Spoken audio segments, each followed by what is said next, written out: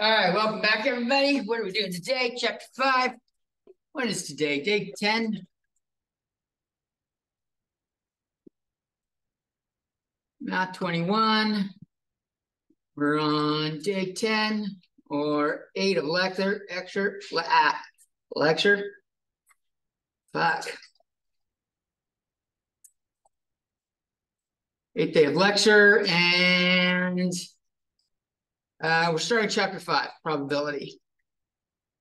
Chapter five on probability is not a StatCrunch chapter. This is, there's, StatCrunch is a bitch to use for this chapter. Because you're only using it for a calculator. For chapter five, a regular calculator works much better.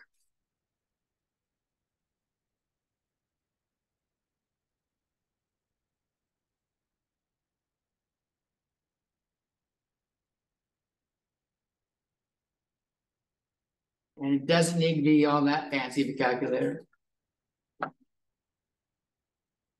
My little $8 calculator does it. Everything I need. So let's talk about pro what probability is. Uh, probability is the long-term proportion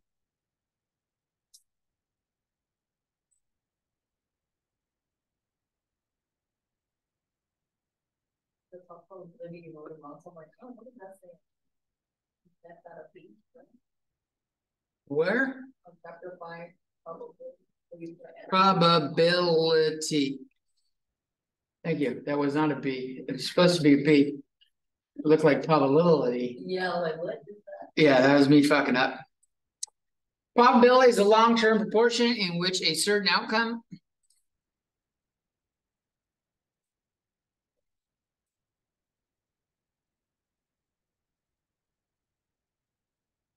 is observed. Observed. In certain situations with short-term uncertainty.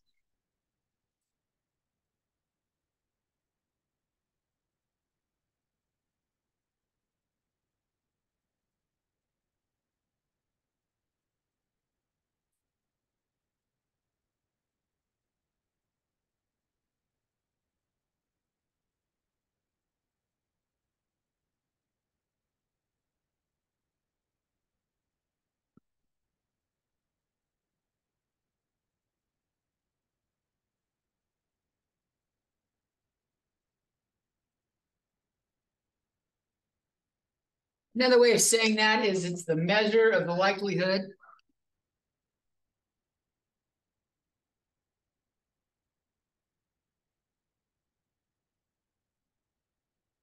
Of a random event.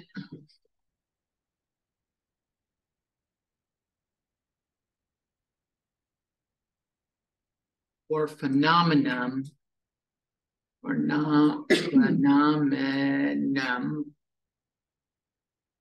occurring or to occur.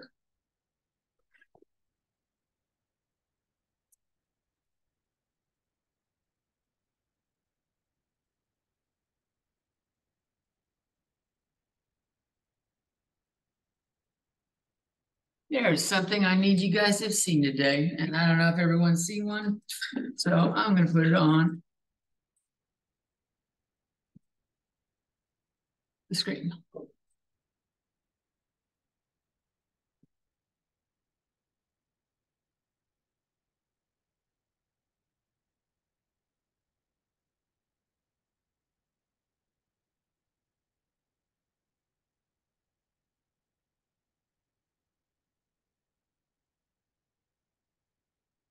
Give you guys a little bit longer to write that before I show it.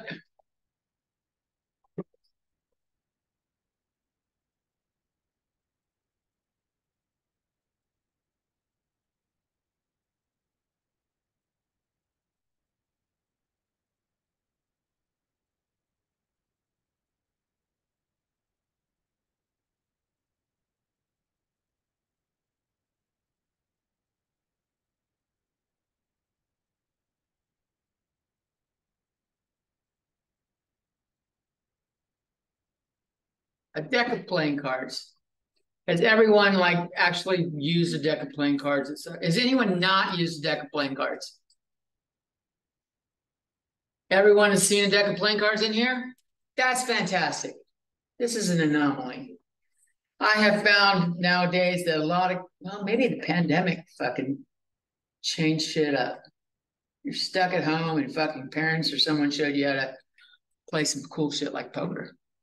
All right, deck of playing cards has four different suits diamonds, clubs, hearts, and spades.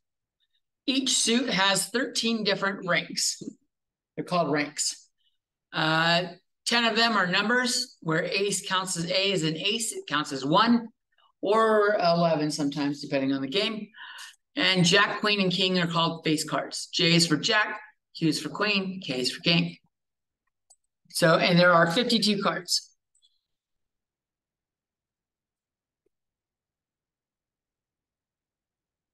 So common events that we do this stuff for is deck of cards. Uh, we use probability on in a lot. And just a recap of what I just showed, 52 cards with four suits. Hearts, clubs, diamonds and spades.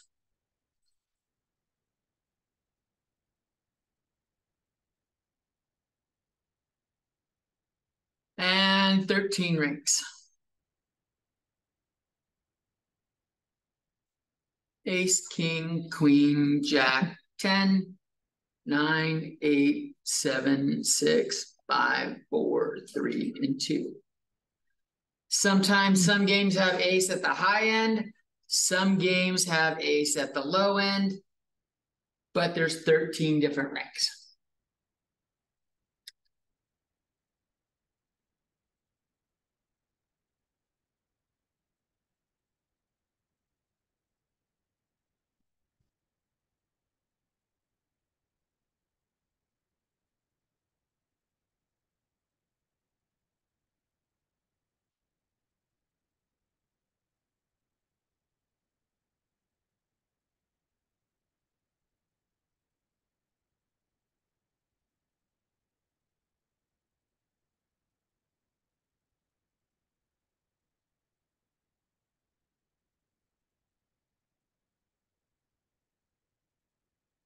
Another common usage of this is dice, rolling two dice.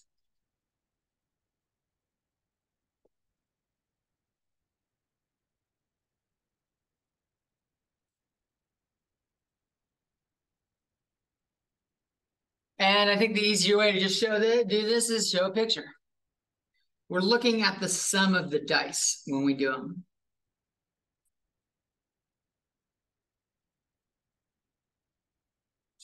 The corners? What? We're adding, it's not necessarily corners. Some stuff isn't in the corner.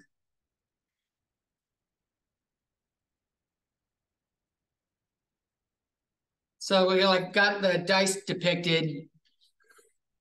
If I roll a two and a three, if this is a two and this is a three, I get a five. Or I could do this one as a two and this one is a three, and I still get a five. So there's two ways to roll a two and a three and get a five. right? Uh, seven is the most like uh, most common occurrence. And we will look at use this kind of table when we're uh, doing stuff a little bit. I will write it down for you guys so it's in the lecture notes.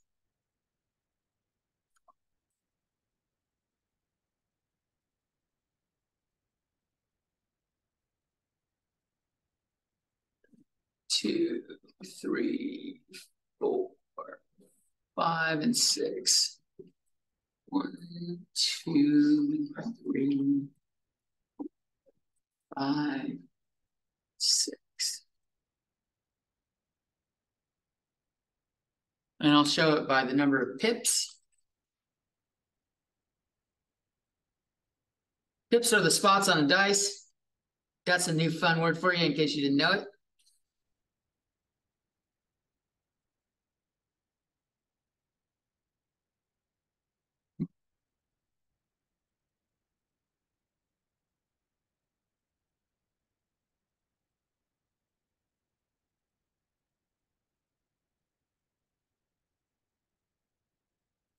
And you're just adding up the columns. The main diagonal this way is a seven.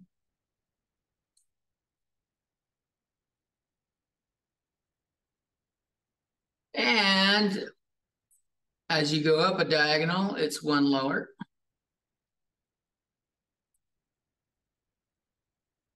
And you go down a diagonal, it's one higher.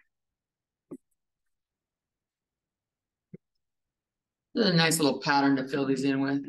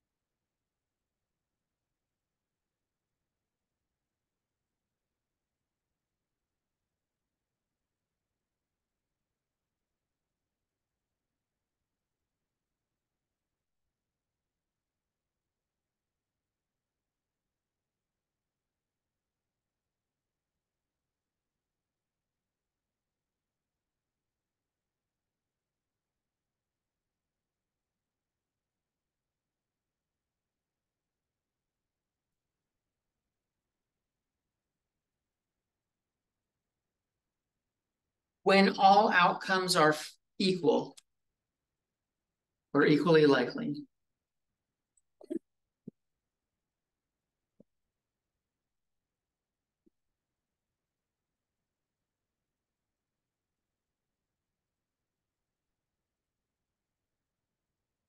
Probability is actually easy to calculate.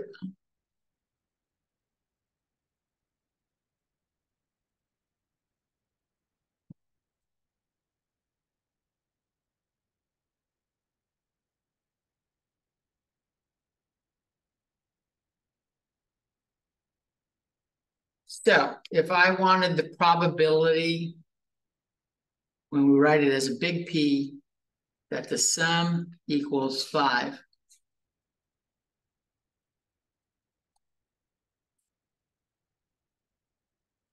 I count up the total number of options that have a five as the sum. So total number of outcomes that equals five over the total number of outcomes in general.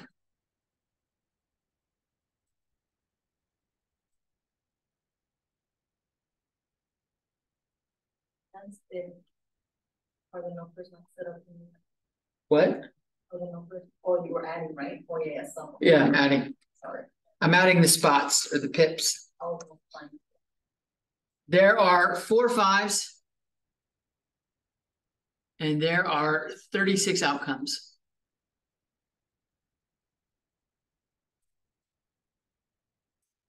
If I wanted to simplify that, that would simplify to one over nine. But I think leaving it as four over 36 is the more helpful way of writing it.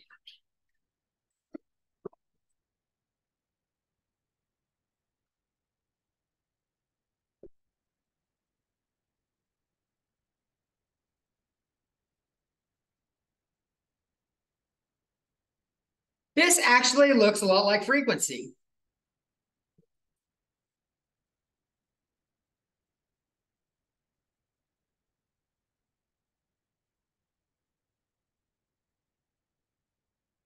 If I'm looking at the table, remember frequency is x over n, where x is the number of outcomes over the number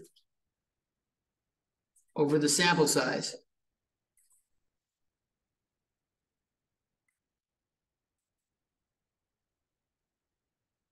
If I treat those as each as an outcome, I would get four over 36 from the table as well.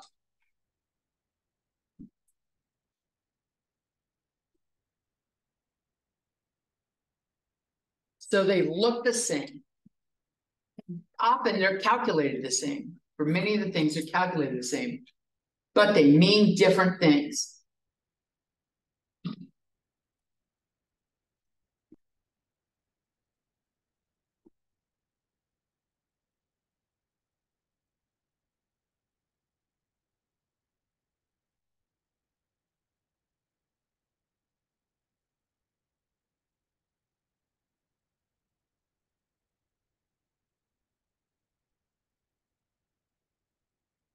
Frequency measures how often an event occurred in the past.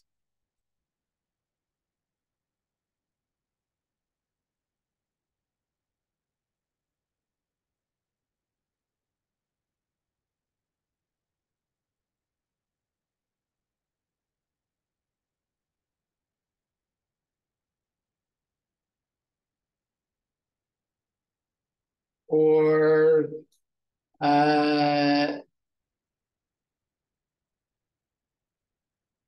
maybe I should say or during a unit of time or number of trials.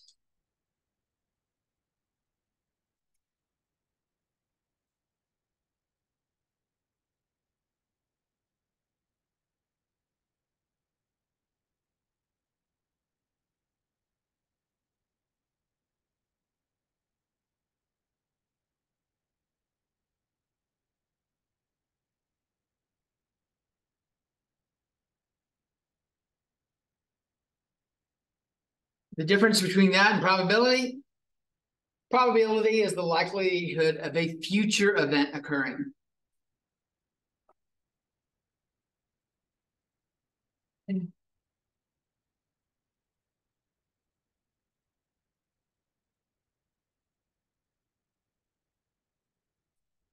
think I got too many R's there. That looks better.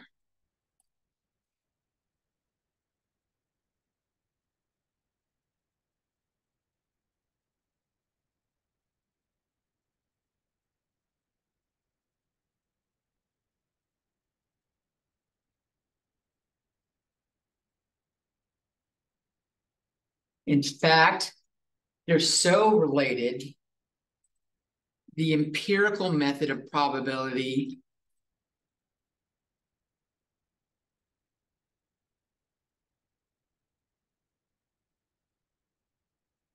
uses experimentation to get the frequency.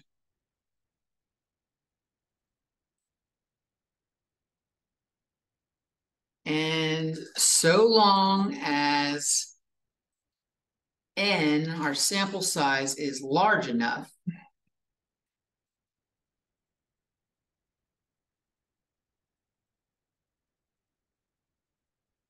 we use that for future occurrences. Or the probability of future occurrences.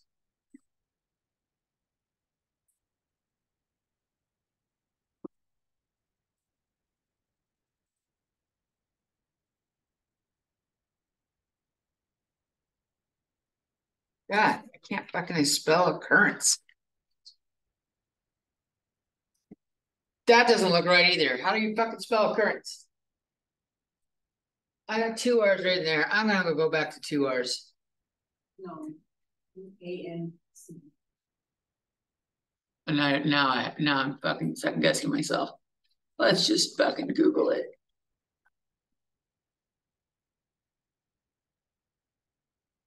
It's two R's. Occurrence. Which means that was probably occurring up here.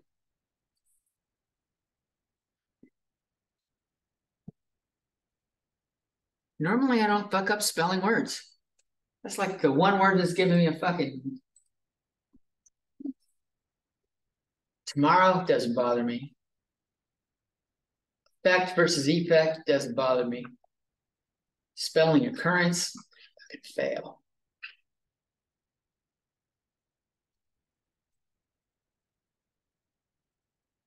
That's actually uh, it's pretty pretty neat.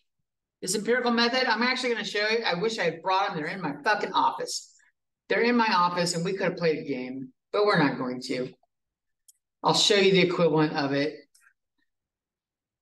The classical method, I'm going to talk about that real quick.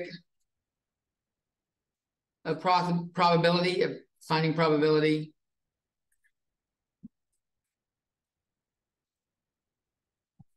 That's where outcomes are equally likely.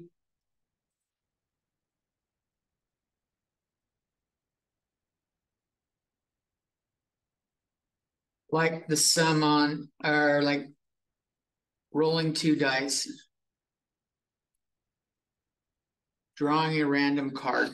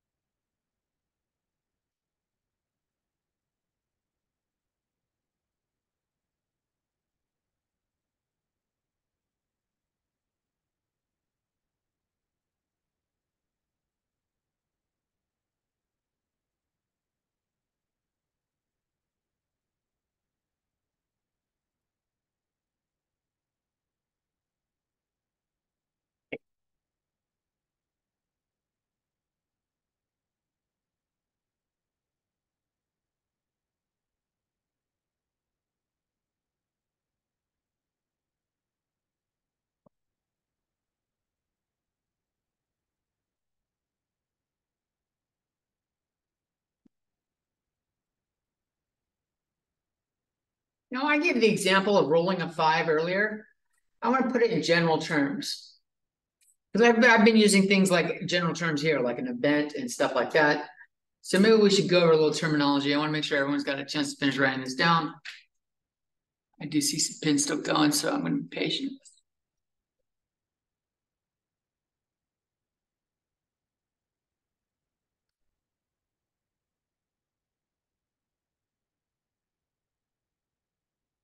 Everyone good?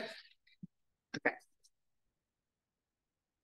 So I said the probability of the, sum being a five, but normally we say the probability of E or E is represents the word event. The probability of an event is the number of ways E occurs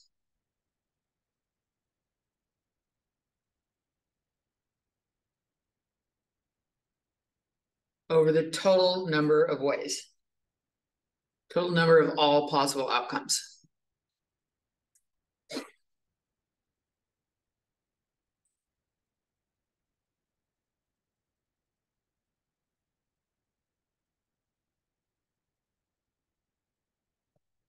The example I gave earlier, the event was rolling a five. And there were four ways to do it. We get a one and a four. We can get a four and a one. We get a two and a three. Or a three and a two. Now, those might look like the same thing. But if, say, you have a green die and red die,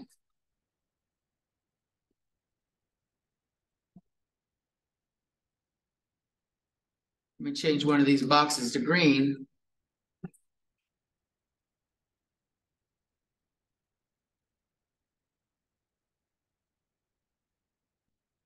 You'll see in each case, the green die has a different number on it. And the red die has a different number on it. Neither of those look like dice. They look like little cubes I drew. Not cubes, but like boxes. They don't look square. I normally draw a better cube. Triangular prisms? Well, cube is a prism.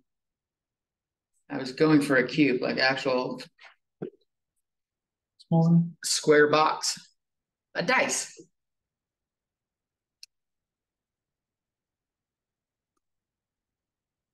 I don't even know that everybody has used dice.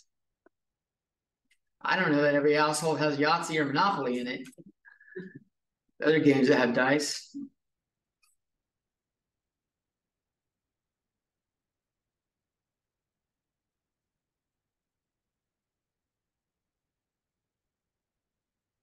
So the event is rolling a five. So event clearly means event is uh, a collection of outcomes.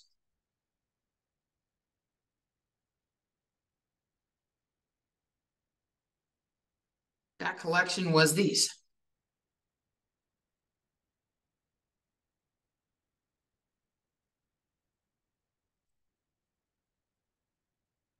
Now, they like to use the phrase sample space.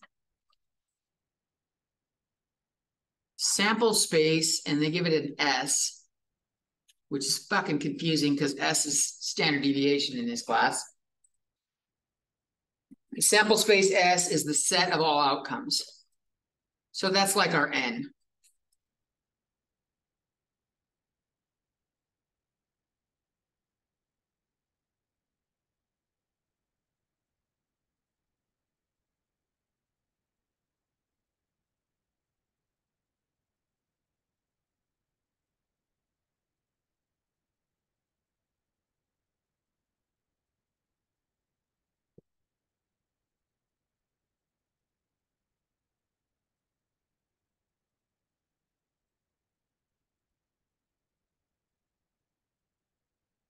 And the way we usually use the probability of E is the frequency of E over the total trials. Which is basically the relative frequency. That's what I should have said earlier. I said frequency. It was relative frequency. Where did I say that? I said some stupid shit on a previous page. Said on this one. I said this looks like frequency. No, it looks like relative frequency.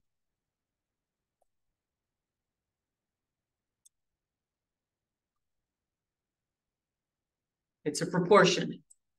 Frequency is just the top. My bad. Got a little carried away.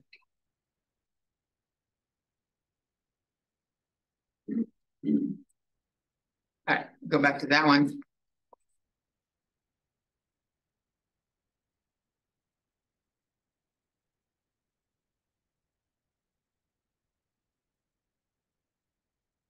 Another way they call this, they call it N of E over N of S. Number of ways E occurs.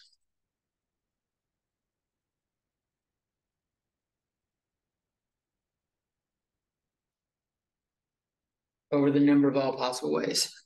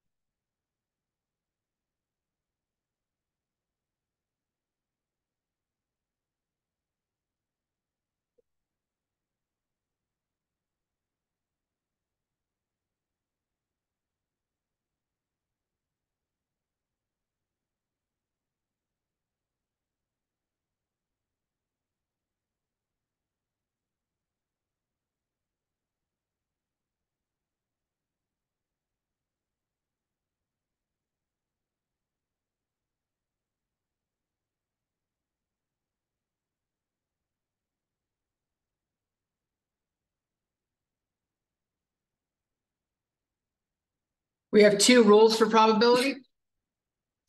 Two major rules. Probability.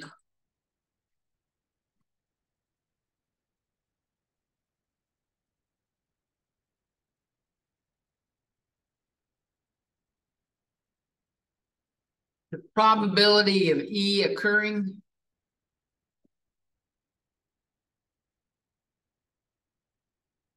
or P of E is always greater than or equal to zero and always less than one. Less than or equal to one.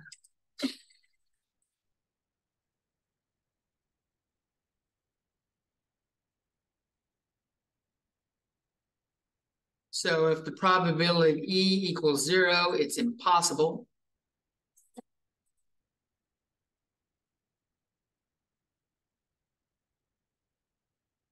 probability equals one. It's certain.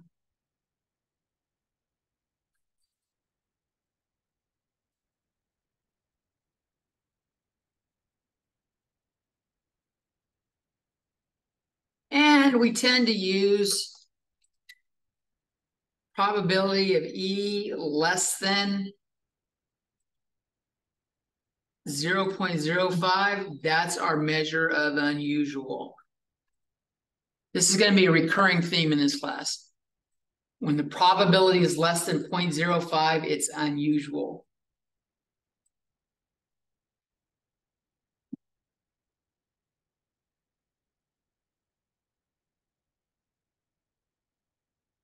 This is like our outlier flag.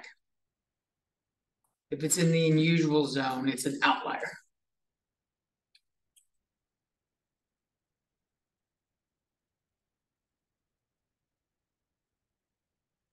That was the first rule.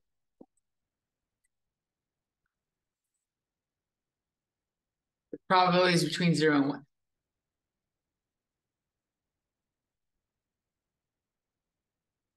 The second rule is the sum of probabilities has to equal one.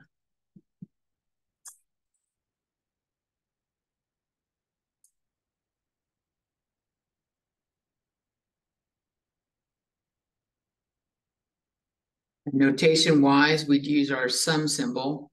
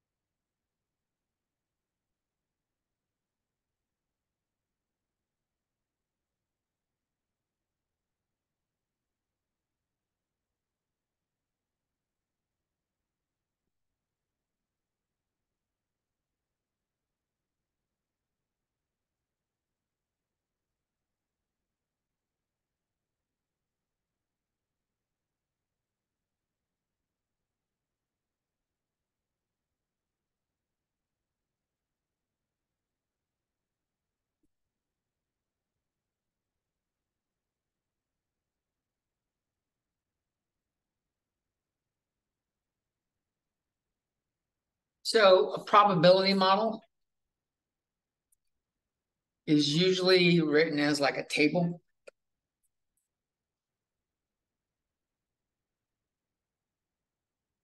Has the outcomes and their probabilities listed.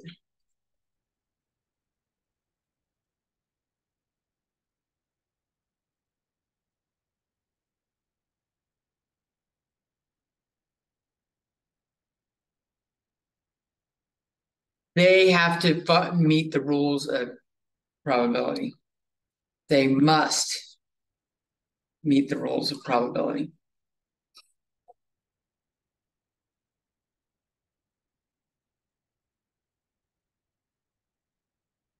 To be a probability model. Otherwise, they're just a table of numbers and that's all they are.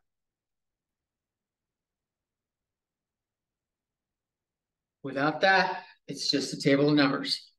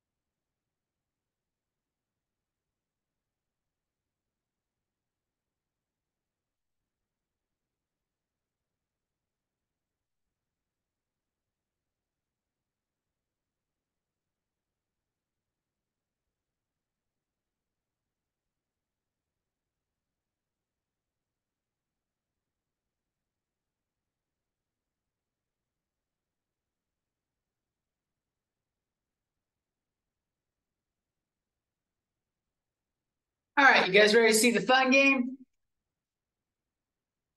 This game is called Pass the Pigs.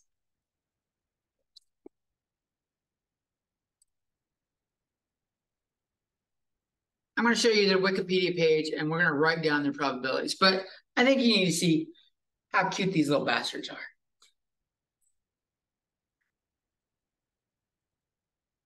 Look at these cute little piggies. They're little tiny, little tiny little things. And you roll them like dice. And I don't know who came up with this game. Someone wants to carve two identical fucking pigs. Notice that the pig has got a dot on this side. The other side doesn't have a dot. So they put a dot on one side and no dot on the other side. And depending on how the pig lands, you score different points. So the, the possible setups for the pigs are if the pig lies, lands with the side with no dot up, this is a like side with no dot up. That's one outcome. Side with the dot up is another outcome. And how much the points are worth are not really relevant here. It's the probabilities of rolling them.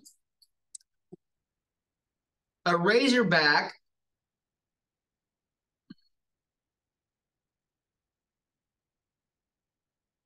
lands on his back.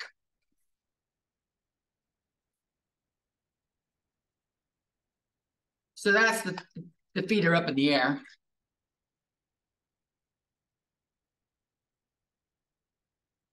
The trotter is when he lands on his feet.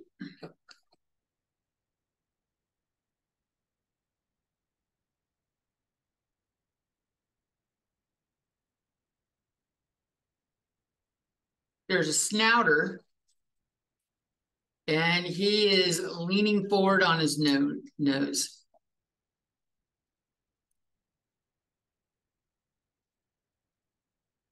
On his snout.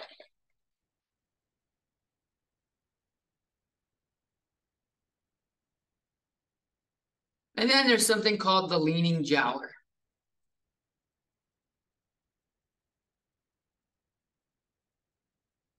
He, his nose is touching the ground, nose and one ear are touching the ground.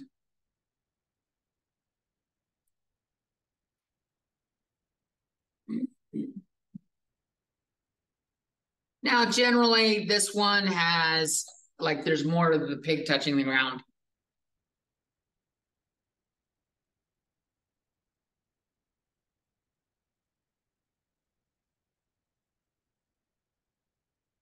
Real quick on the pig. The pig on the right is doing the snouter. He's leaning forward, his back feet are up in the air. If he's tipped to the side a little bit and on his nose, that's the leaning jowler. His back feet will still be up in the air. One of the foot will be, he'll have one foot on the ground, an ear on the ground, and his nose on the ground.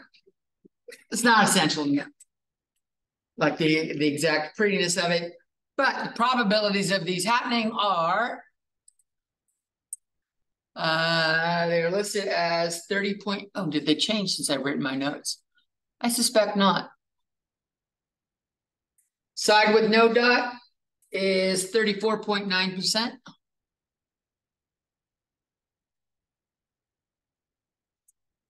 Side with dot is 30.2%.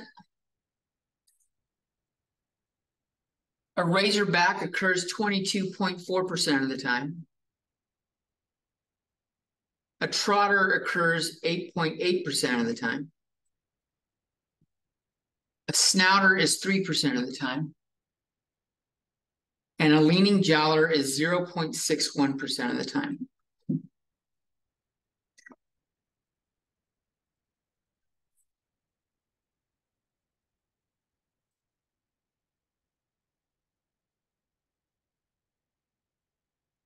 These are not equally likely, so these were calculated empirically.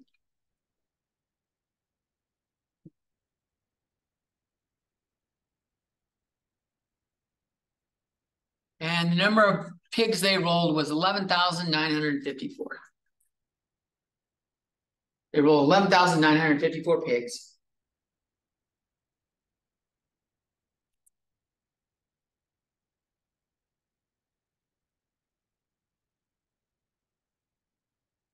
And so we can actually see how many times each thing was rolled. In fact, you're gonna have several problems on the homework, not related to pass the pigs, but they'll ask you. The homework will go, if it happens a thousand times.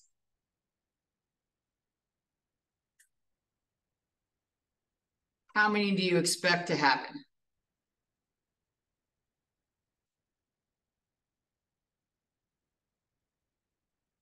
This follows the same premise of what I'm about to do here. I'm doing it with the leaning jowler, and I'm going to do it right here. So if it happens X number of times.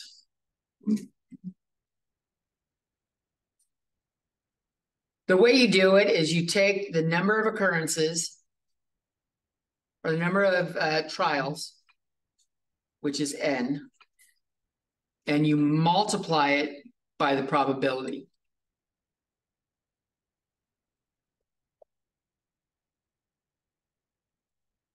So zero point six one percent as a decimal is zero point zero zero six one. And if I multiply that by eleven thousand nine hundred and fifty-four, I get, but what do I get? I know it's close to seventy-three.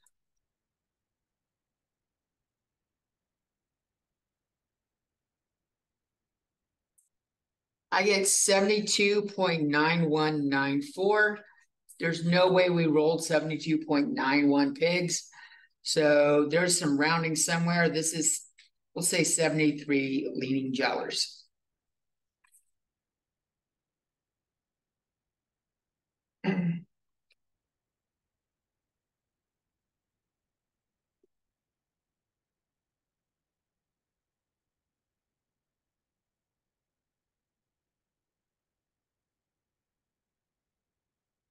And I could do that for each of them. You will have that on several problems. You will calculate the probability of an event and then they'll go, like, if a thousand people, you ask a thousand people, well, how many people would you expect to have the so-and-so uh, trait, whatever it is, like maybe it's red hair or some shit like that. And if you, they gave you calculated probability and then they said, if you asked a thousand people, how many would you expect? You're going to do the same thing you would take a thousand and multiply by the probability. You're going to do it in the homework a lot. So you're going to do a lot of multiplying of the sample size times the probability. Let's go backwards. I'm going to start with the 73 and the 11954. So like they started with 73 being jowlers. it was 73 over a total was 11,954. And you do that in the calculator.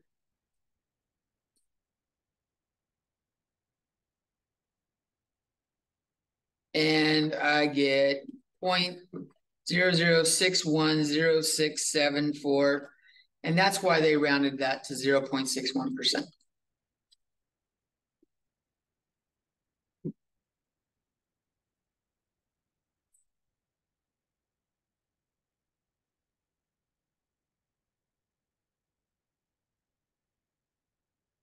Are you guys with me? So there's a lot of frequency stuff so far, I mean, relative frequency so, stuff so far. I would claim, my, I claim that eleven thousand nine hundred fifty-four is a large number. Would you agree? It's a lot of times to roll a goddamn pig or die. It's a large number.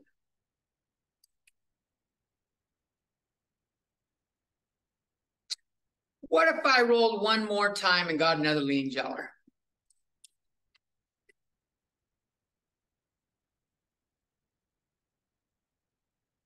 One more pig, just one more. And luckily got a leaning jowler.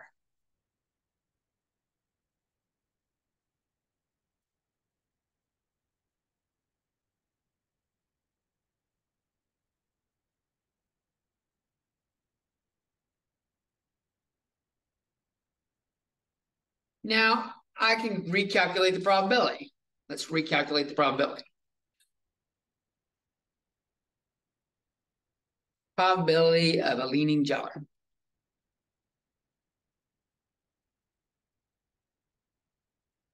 My leaning jowler, leaning jowler count went from seventy-three up to seventy-four.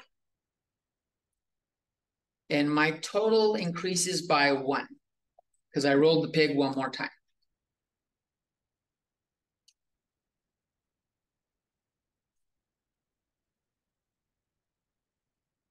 and I get 0.0061898, some more shit.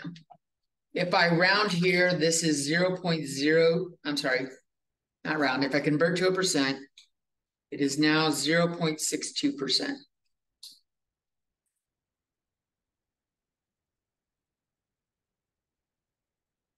We went from 0.61 percent to 0.62 percent.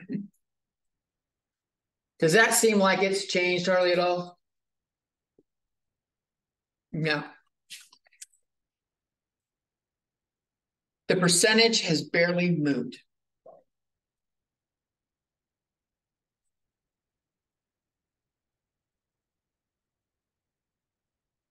Barely shifted. 0.61% to 0.62%.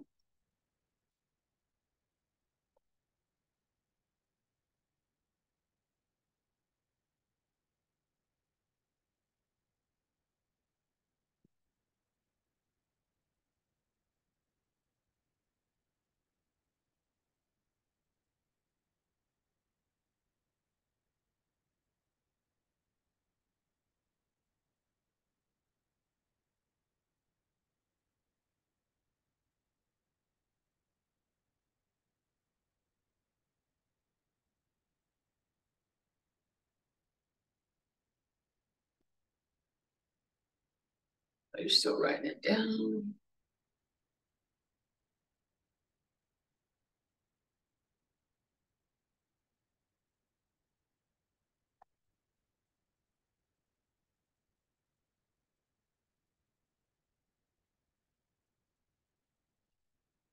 Okay, so this represents, this is an example of the law of large numbers.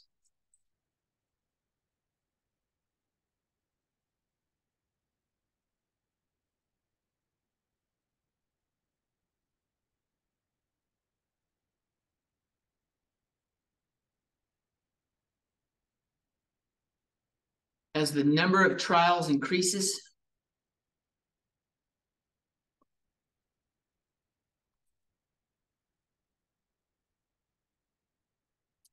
or grows larger,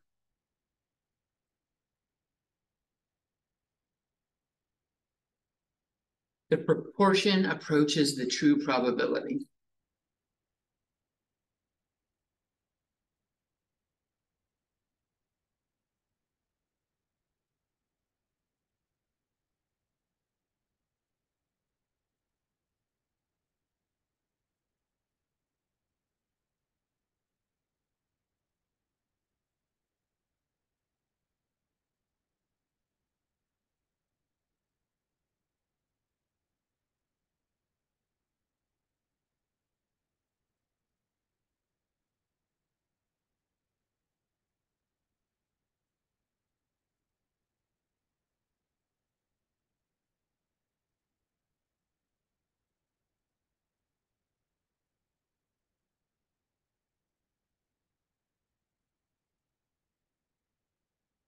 So this is why they like don't ask everybody. If you're going to do a survey, you don't you can stop after you get a lot. Because eventually asking more people doesn't really fucking change the answer. You're just wasting your time. It changes it, but not enough to be like important. But it's gotta get to a large number. If I only had ten people or nine people and I ask one more, the probability is gonna change quite a bit. If I had hundred people, adding one more is gonna move the needle by one percent. That's still maybe not large enough, depending on how much, like how exact you want. But if you have like a thousand people and now it can only move by 0.1 percent. And ten thousand people, it can only move by 0.01 percent. The more you ask, the less damage each individual person does.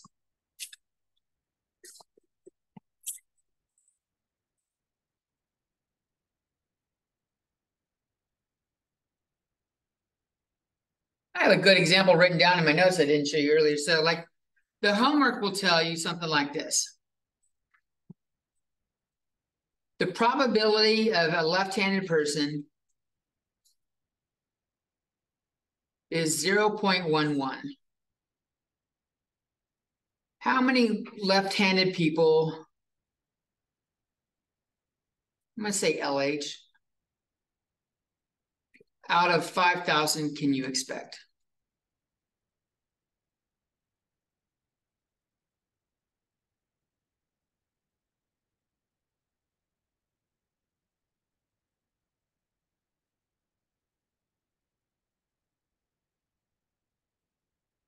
And they'll give you the options. They'll say exactly or approximately or maybe about. They'll give you those two as like something to choose from. Usually, like it's an A or B. You know how they like to give sentences so far and just change one fucking word. It's it's one of those examples. One will say exactly, one will say approximately. And we're gonna do five thousand times 0.11.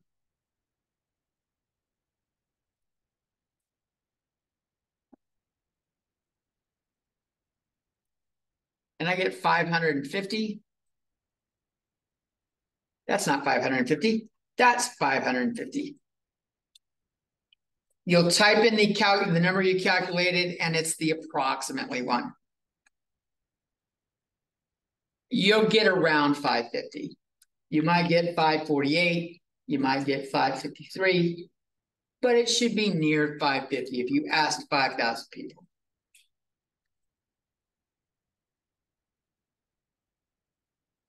Probability gets us close to the answer.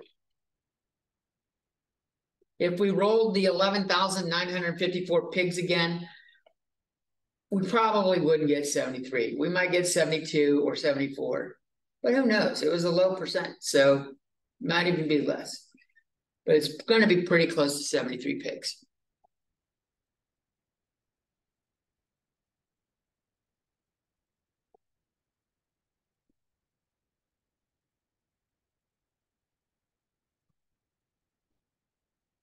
Okay.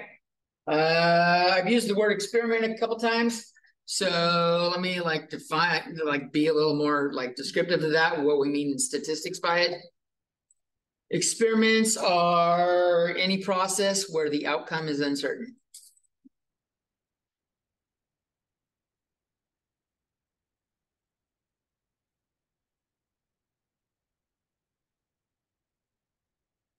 I don't need to mix chemicals to have an experiment. Asking you what your favorite color has an uncertain outcome. That's an experiment. Or asking people what their favorite color is. That outcome is not certain.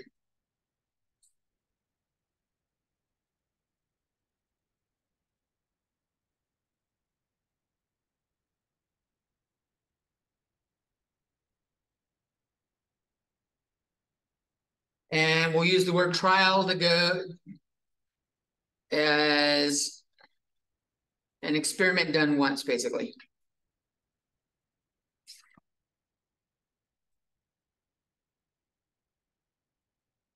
So in the case of what's your favorite color, me just asking one person in particular, that's a trial.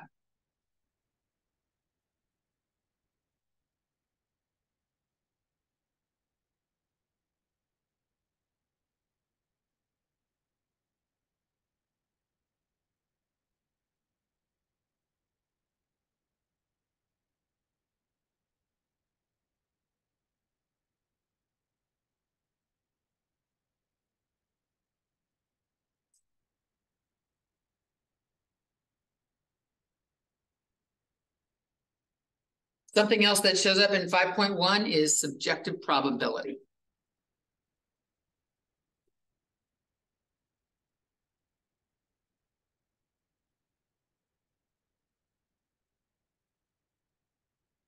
This is where it's, it's not really measurable.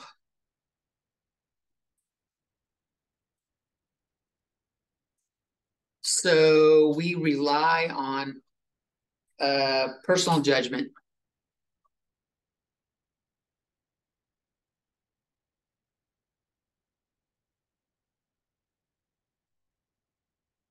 Usually of experts.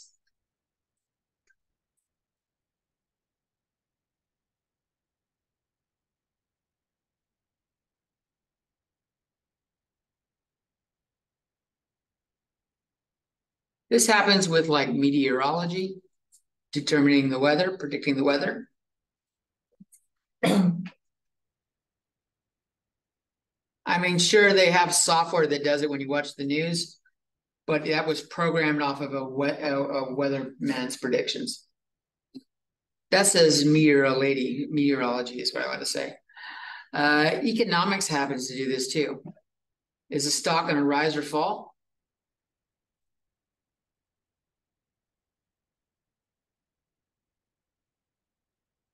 Comes with experience and personal opinion. And that one's definitely less precise than weather.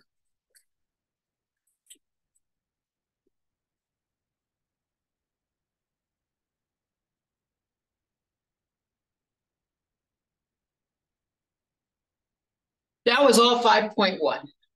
Does anyone want to take a five minute break? All right, let's take a five minute break and then we'll do five point two and hopefully five point three. All right, let's continue our exploration of chapter five. Uh, five point two is on the addition rule and complements.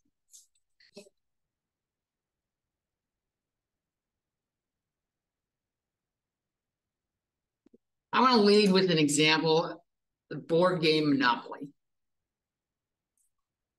Has anyone in here not played Monopoly?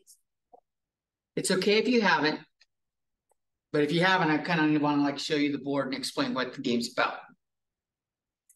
Wow, we've got a, a good group of people that played the one of the worst games on the fucking planet. Monopoly is only fucking fun if you're fast, if you're cutthroat. Monopoly's really fast if you're fucking cutthroat. You don't have enough money, fuck you, you're out. Not, I'll buy your property for this much. That makes the game like a fucking 45 minute game take five hours. If you play Monopoly with more than two people, then you've got someone sitting around that loses after an hour, waiting for four fucking hours for everybody else to finish. It is not a family friendly game. Unless you're cutthroat. And in 45 minutes, you can knock everybody out. Okay, so the board game Monopoly, uh, there's a square called free parking. And I don't know about your family's house rules, but my family's house rules is all taxes and fees go into free parking.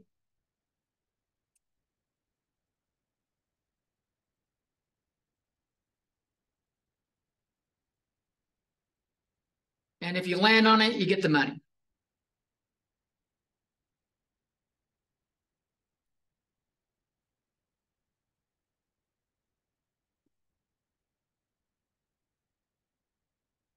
I know Monopoly can go fast because I tried it on a video game once with my wife, where we said just use the standard rules. The game was fucking hella quick. It is super quick if you don't change the rules.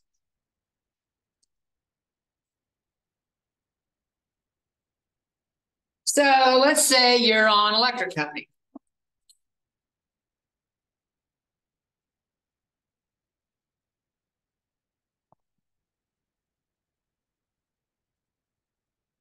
Which is eight squares away from free parking.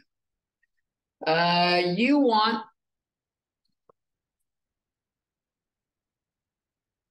to roll an eight to get free parking.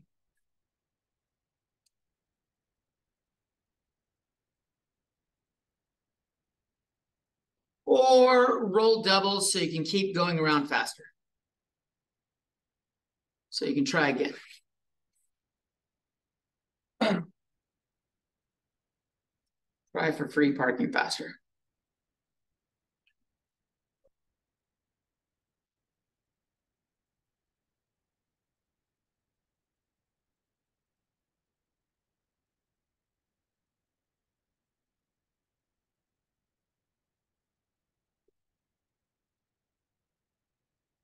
So the probability of rolling an eight. How many ways can we get an eight?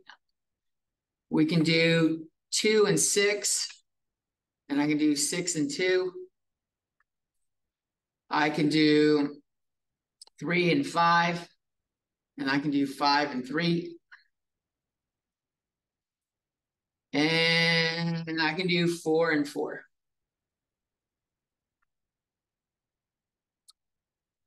There are five ways to roll an eight out of 36 total ways.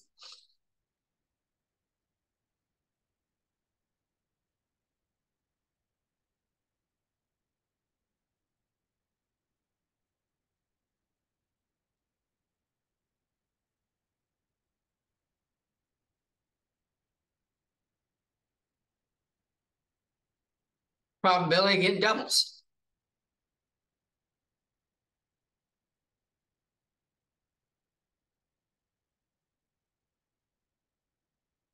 Well, we got we got ones, we got twos, we got threes, we got fours, we got fives, we got sixes. So the probability of getting doubles is six out of 36.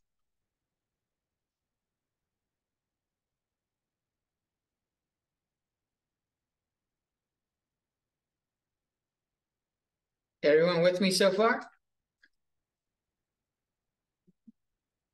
What's the probability of eight or doubles?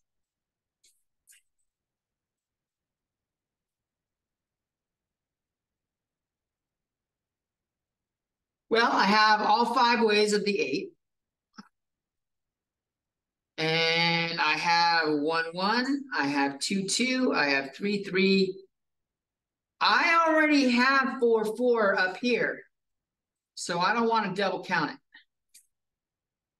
I have five, five, and I have six, six. There are five plus five equals 10 ways out of 36.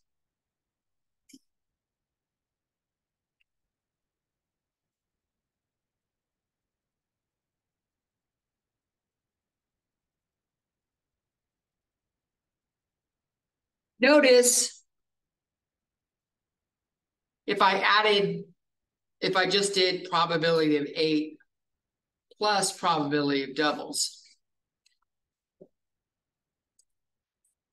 I have five over 36 plus six over 36 is 11 over 36. It's one too high. And that one too high is the four, four counted twice.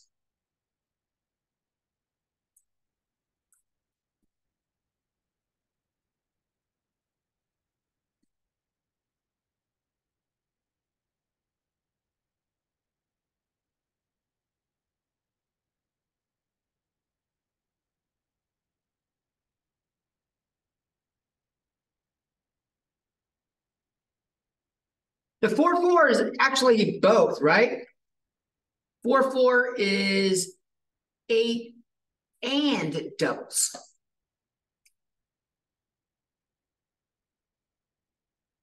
Right? It falls into both categories. It's an eight and a double.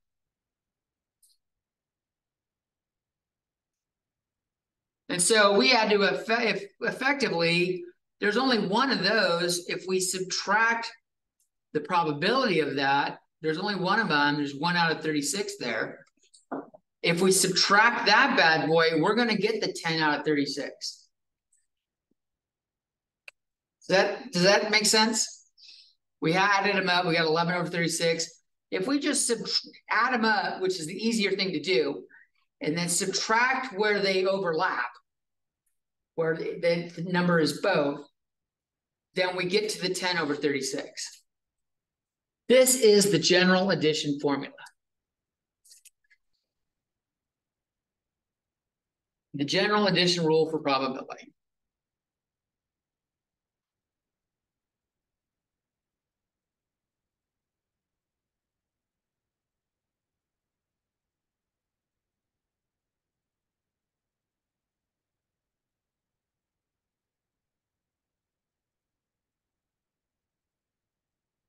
If we are looking at the probability of events E or F.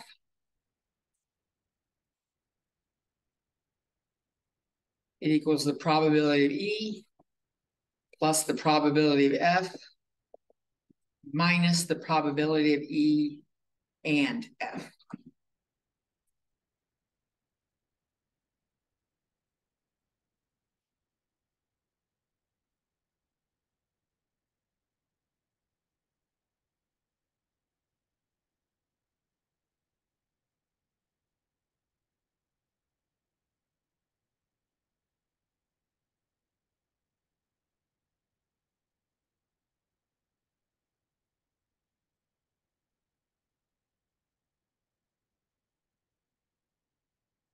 So applying that to our last scenario. Probability of eight or double. Is the probability of an eight plus the probability of a double. Minus the probability of eight and double. Which was five over thirty-six plus six over thirty-six minus one over thirty-six. And when you have the same denominators, you just add or subtract numerators. Five plus six minus one on top is ten over thirty-six.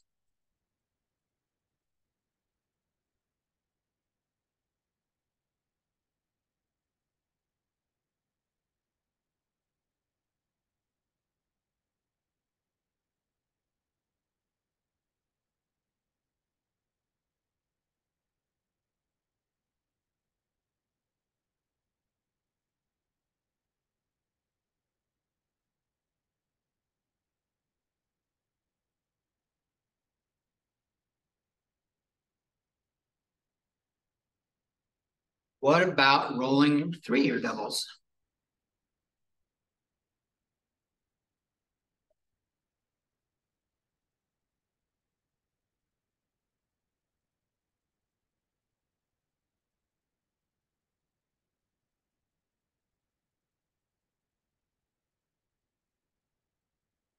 Three has only two ways. A one and a two, or a two and a one. So two ways for a three. We already saw there was six ways for a double.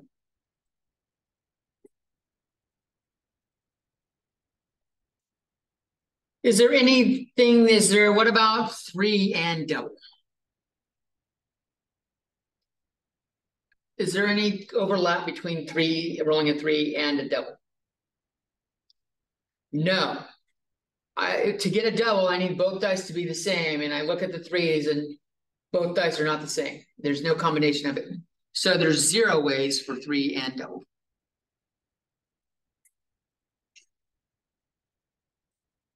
So if we apply this to our probability thing here, we've got probability of three or double equals two over thirty-six plus six over thirty-six minus zero over thirty-six. Which is just the, the two over thirty-six. We don't need the zero over thirty-six, right? That's extra.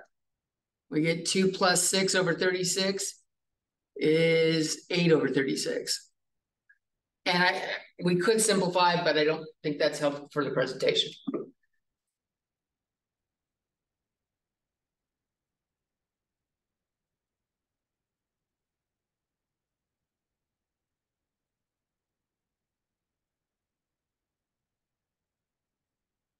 Events that have mutually ex- exclusive outcomes.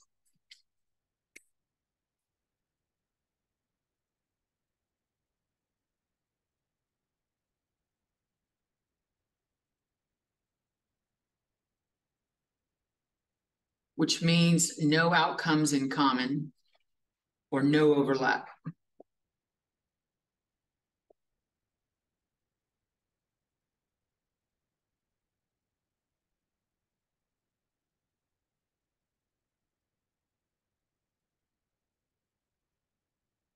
Are called disjoint events. D I S J O I N T.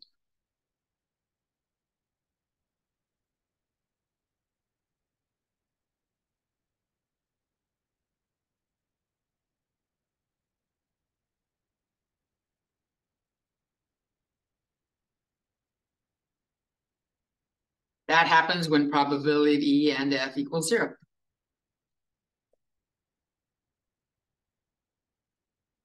And it simplifies the general addition formula.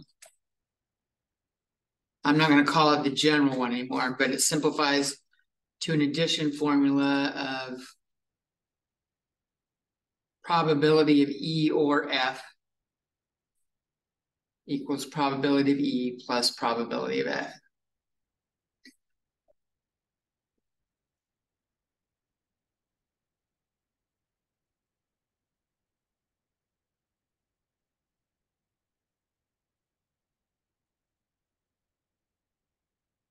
Some books and teachers teach this one first. Because it's the easier one. But y'all are smart. You can figure out how to add and subtract. And you get the idea that the doubles is fucking extra. You understand it. So the top formula always works. This always works. This one only works if the outcome is the, the overlap is zero. You can always use the top formula though. So if you're gonna pick one to memorize, memorize the top one. It's not that much more.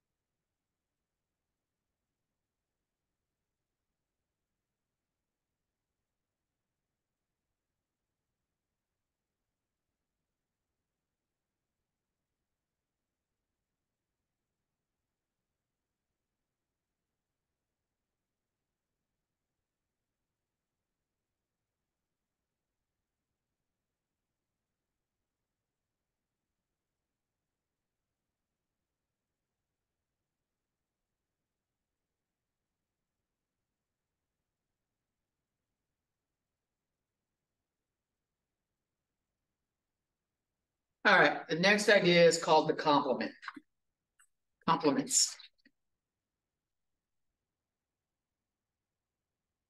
And it's not like paying somebody a compliment, it's spelled a little bit differently. We have an E here rather than an I. That for like when you give someone, say something nice about someone, that's I right there rather than E. So complements the complement of event E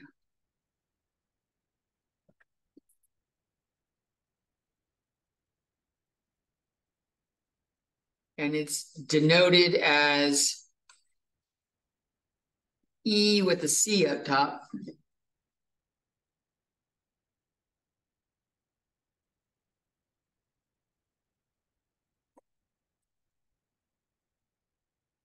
Contains all of the outcomes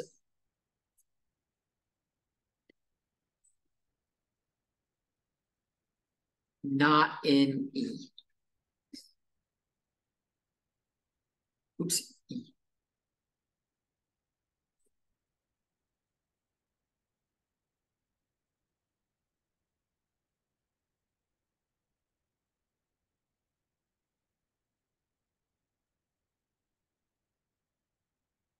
So when we had our event E was rolling an eight.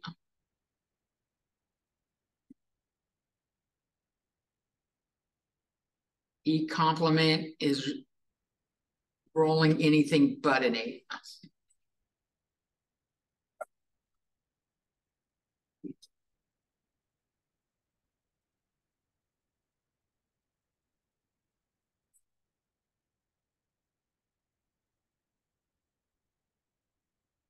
And looking at the probability rolling an eight, and if I add that to not an eight.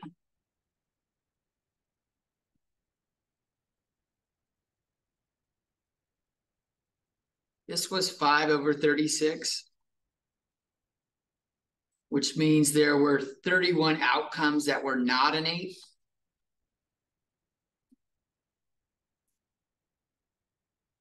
We get thirty-six over thirty-six, which is one.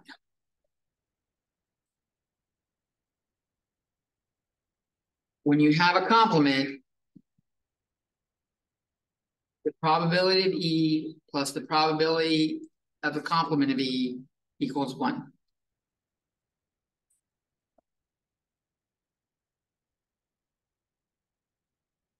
And if we do a little bit of algebra, subtract probability over, we can find the probability of the complement by doing one minus the probability of E.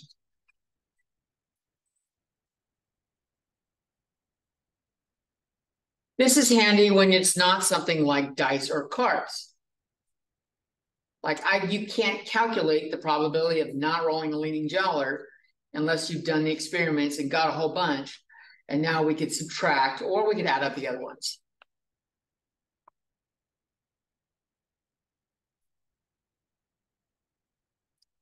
Notice that uh, E and the complement of E are mutually exclusive or disjoint.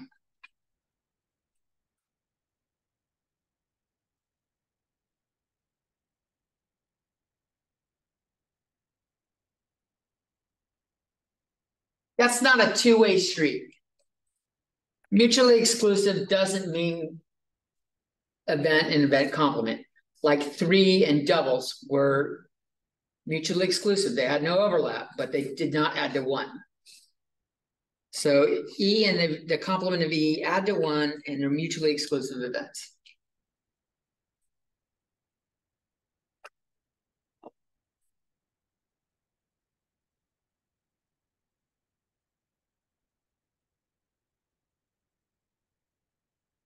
So let me give you an example where this scenario is really handy and it's in the fucking homework. It may not be the exact description I give, but it's just like this. Let's say we have 18 girls and 12 boys in class.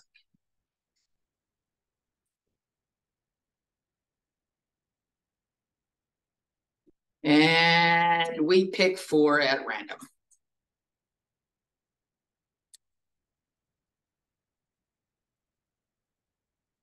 What is the probability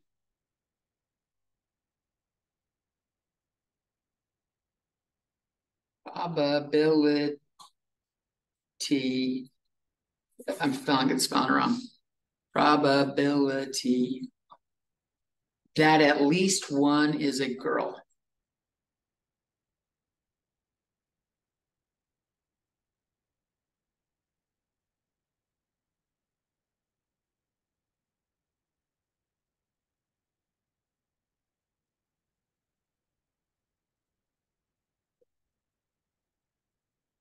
Well, how many options do we have right here?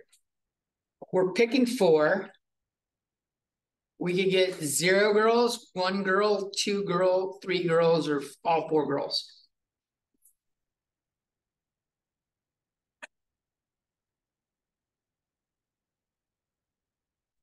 So to answer that question, we need the probability of a one or a two or a three or a four.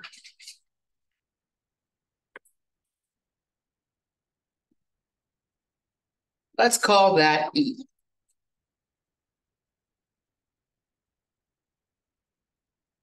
I can tell you right now, calculating that is a pain in the fucking ass. We'll see how to calculate that in a little bit. Uh. When we do, uh, oh. Oh, it's in, uh, chapter six, binomial events. Calculating something like this will show up in binomial events. Uh, and it's a pain in the ass. There's an ugly ass formula. There's factorials in it. There's exponents all over the fucking place. It's nasty. But what's the complement of E? If that's E, what is E complement?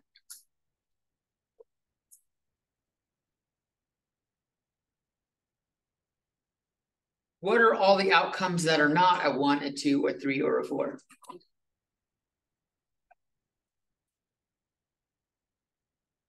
Just zero.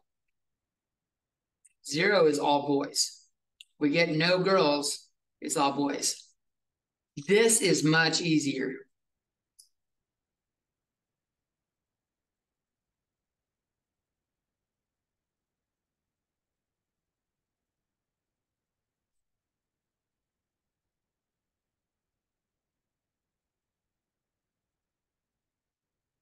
So we can do the probability of E equals one minus the probability of the complement of E. This equation goes two ways up here. We can also do probability of E equals one minus probability of event complement.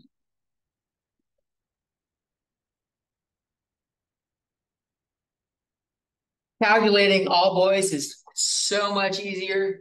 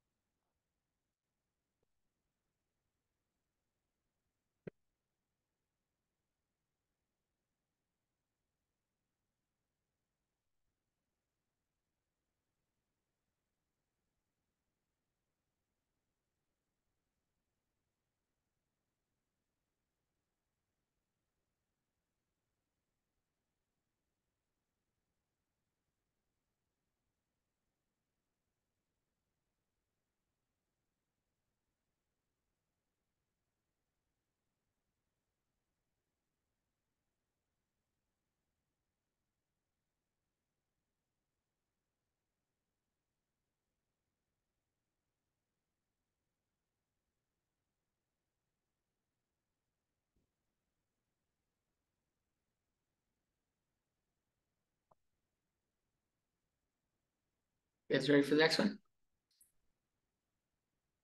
All right. Five point three is on independent events. This is a short section.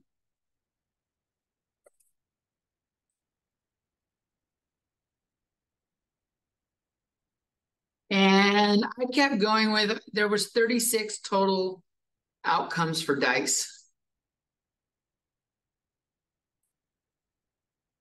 Or the sum of two dice.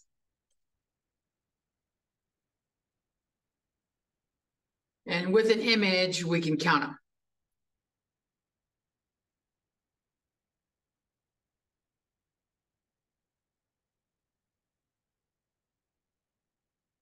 But there's an easier way.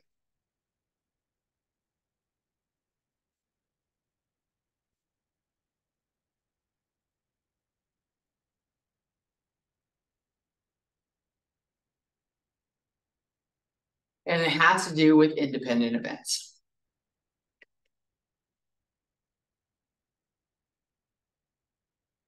If we have two events going on and they don't impact or affect each other,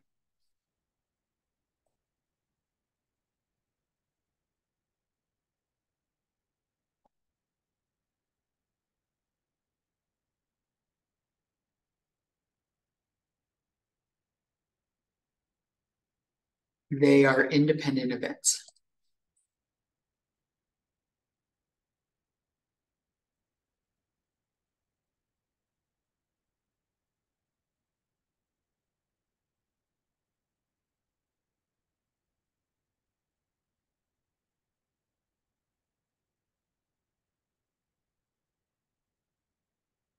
For example, rolling two dice.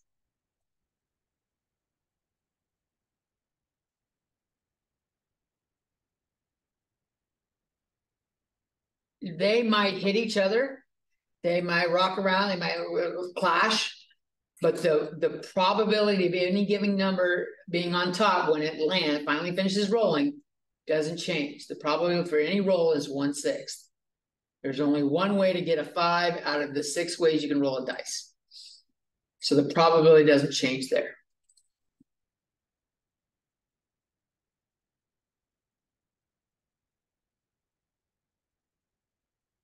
Uh, another example of this is drawing two cards, but drawing cards and replacing them after each draw.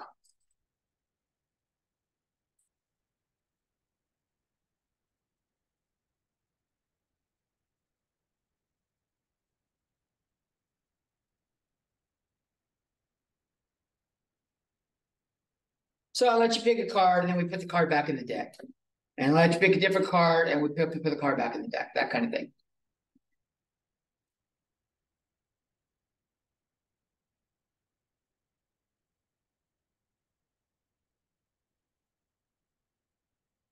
Uh, th- this is what five, that's five point three.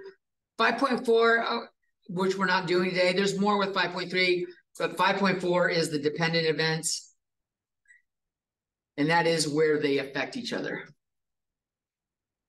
And we'll do more on that next week.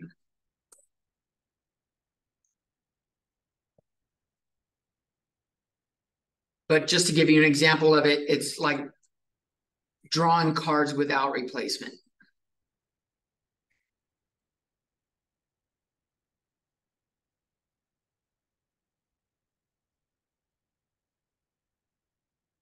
Or dealing cards.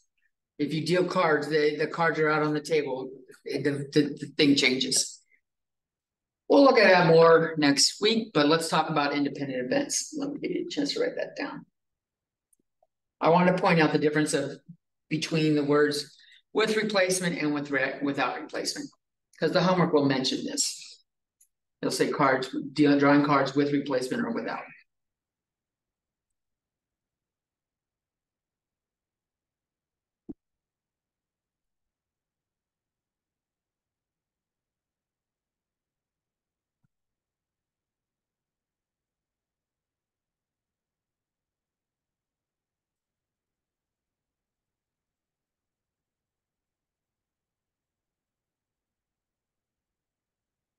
If E and F are independent events.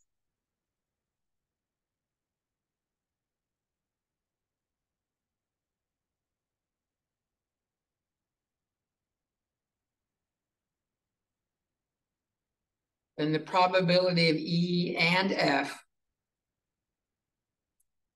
Is the probability of E times the probability of F.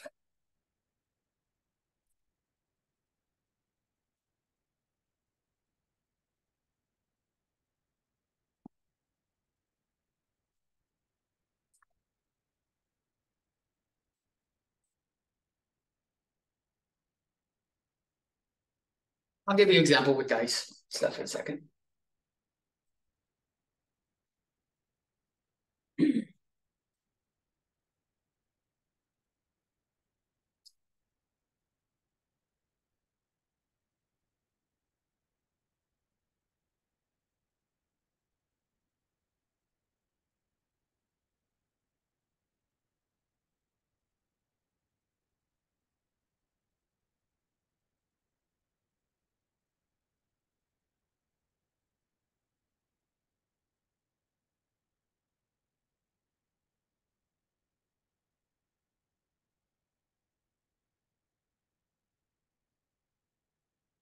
Let's look at an example with dice.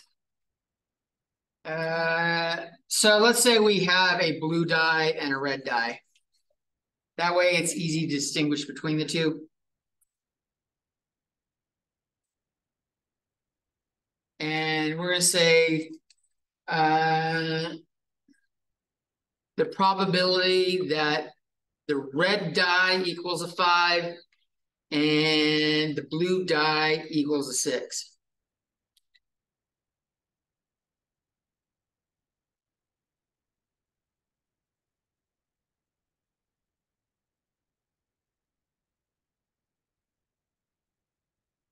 Now, dice have on them, a single die has one, two, three, four, five, and six. Those are the sides on a die. A six-sided die. There's dice that are different shapes. But for a standard six-sided dice, those are shapes, those are a number of sides. And so the probability of getting the red one being a five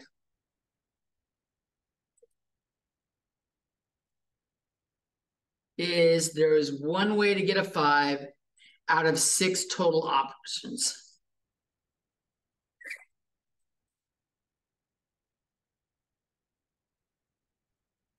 The option of the blue one being a six, there's only one six out of six different options.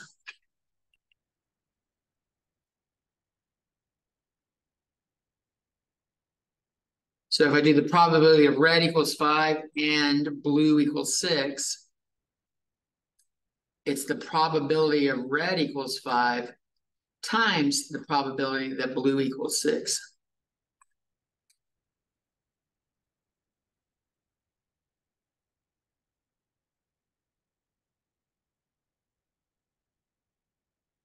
Conveniently was one six for both of them. And when you multiply fractions, you multiply the tops separately from the bottom. And we get 1 over 36.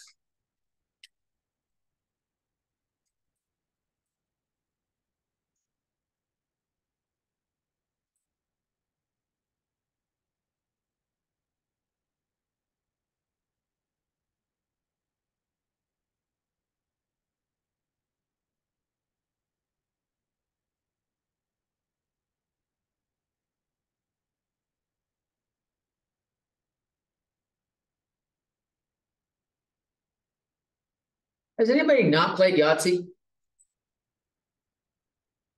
The game with the five dice? You haven't played Yahtzee? Okay, when you in Yahtzee,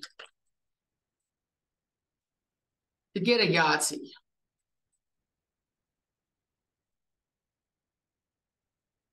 you get three rolls to get five of a kind.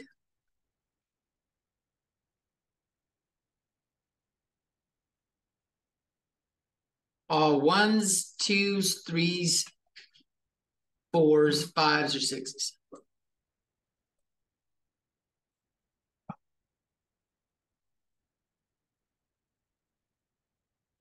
We're not going to do this thing with three rolls. We're just going to say the probability of getting in one roll. Probably three rolls is clusterfuck. Let's say, let's just see the probability of getting a Yahtzee in one roll.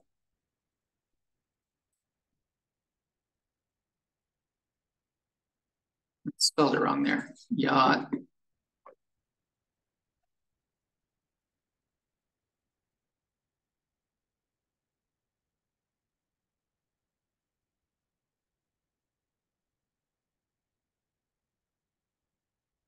This means it's either all ones or twos or threes or fours or fives or sixes.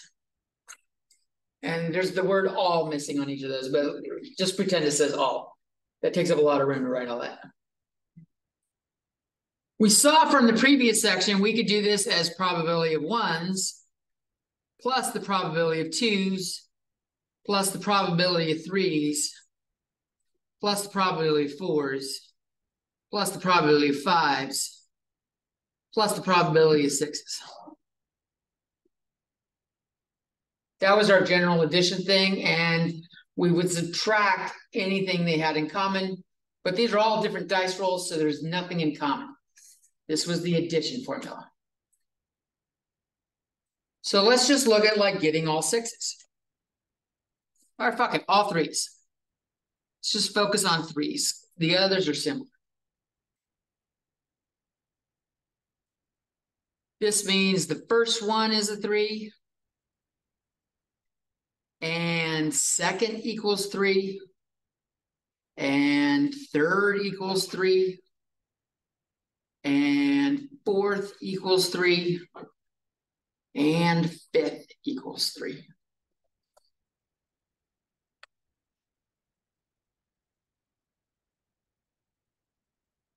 It's fucking tedious to write out. It's really tedious to write out. I feel your pain. I know you know how I feel it. I just had to fucking do it. Some some students won't write everything down, but if you're writing down, I I, I have suffered with you. And dice rolls are independent events, which means this is the probability that the first equals three times the probability that the second equals three times the probability that the third die equals a three times the probability that the fourth die equals a three times the probability that the fifth equals a three. That got ugly.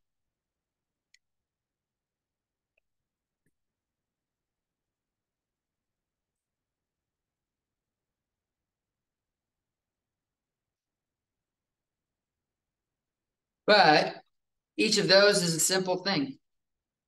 Each of those is one sixth.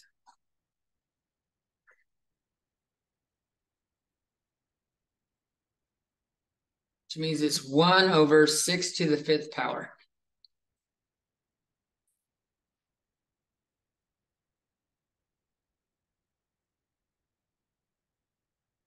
Which is one over 7,776. That was just the probability of all threes in one roll.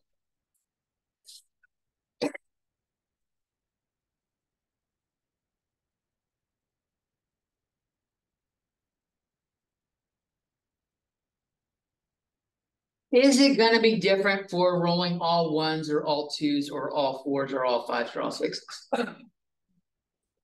It's not different, is it? So the probability of all one kind one number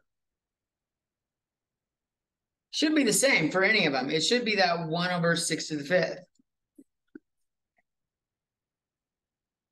So I can add them all up. If I wanted to go back up here and do the very top one, which is what we we're trying to do, we just got the probability of one of them. If we want the probability of any Yahtzee,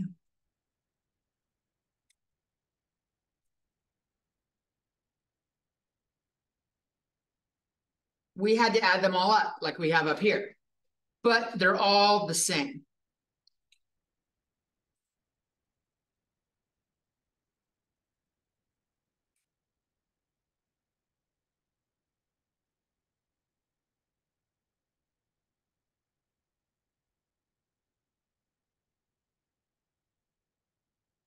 And if I add that up, there's six of them. And repeated addition is multiplication. And this turns into one over six to the fourth.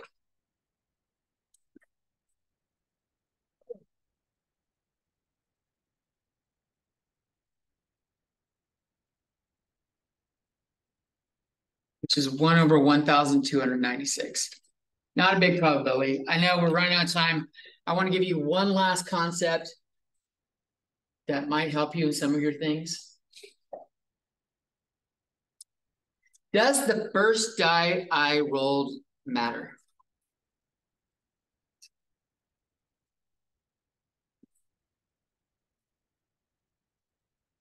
Say I roll them one at a time.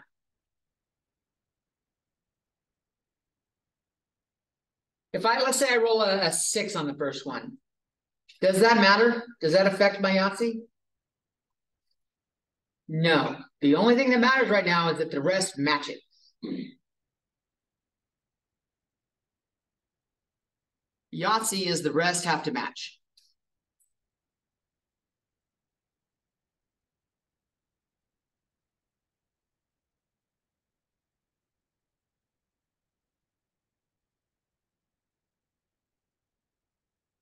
So doing any Yahtzee is kind of like doing a Yahtzee of a specific one.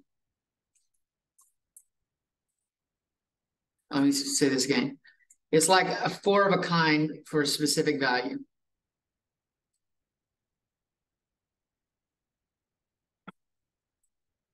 The first one doesn't matter. So it's just the second and the third and the fourth and the fifth have to match the first one. And those are all each one sixth. And if you multiply those, you get one over six to the fourth.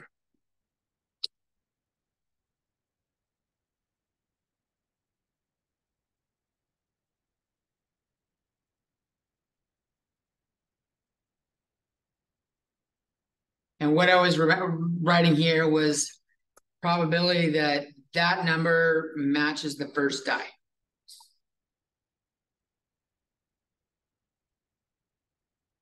So the probability that the second die matches the first die times the probability that the third die matches the first die. And that's, that's a wrap. That took the full two hours. Have a good day, guys. Have a good weekend.